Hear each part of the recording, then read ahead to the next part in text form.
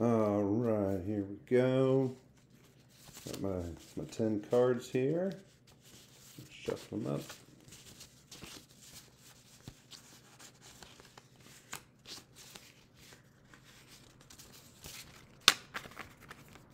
Okay.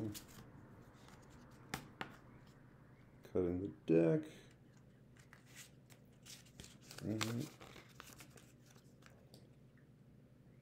Timer's ready to go.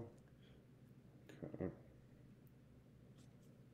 Okay, Punisher assessment is an aversive stimulus assessment uh, conducted to identify stimuli uh, that function uh, as a punisher.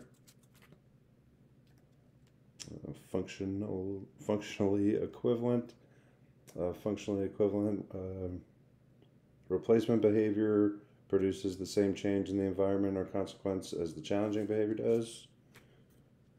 Uh, functional behavior assessment, FBA, uh, a systematic method of assessment for obtaining information and purposes a behavior serves to a person.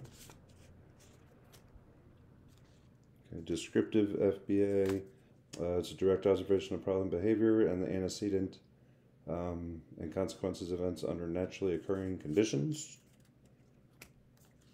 Right, brief functional analysis, um, variation of an F.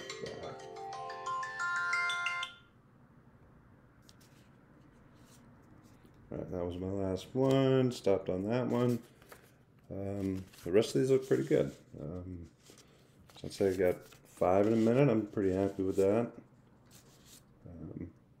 Yeah, got the definitions on the back of all those. So one's Punisher assessment we got, uh, functionally equivalent, we got that one.